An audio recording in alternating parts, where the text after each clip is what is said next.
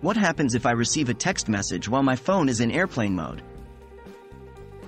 Hello, everyone. Have you ever wondered what happens to your text messages when your phone is in airplane mode? Well, today we're going to demystify this and explore what really happens in this situation. What is airplane mode? Firstly, it's important to understand what airplane mode is.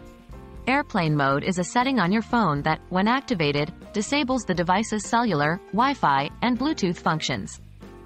The name comes from its use in airplanes to prevent interference with aircraft systems.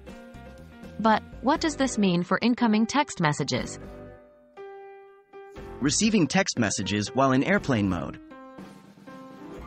The reality is, when your phone is in airplane mode, it cannot receive text messages. This is because the cellular network is disabled, preventing any incoming signals from reaching your device. But don't worry, you won't miss out on any important messages.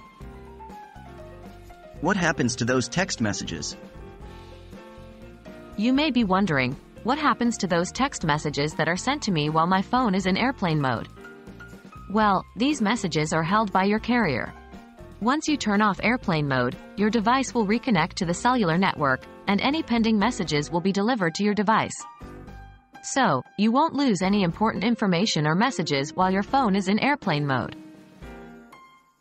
So, there you have it. When your phone is in airplane mode, it won't receive any text messages, but they aren't lost. They are stored by your carrier and will be delivered as soon as you reconnect to your cellular network. We hope this video has helped clear up any confusion. Thanks for watching and stay connected.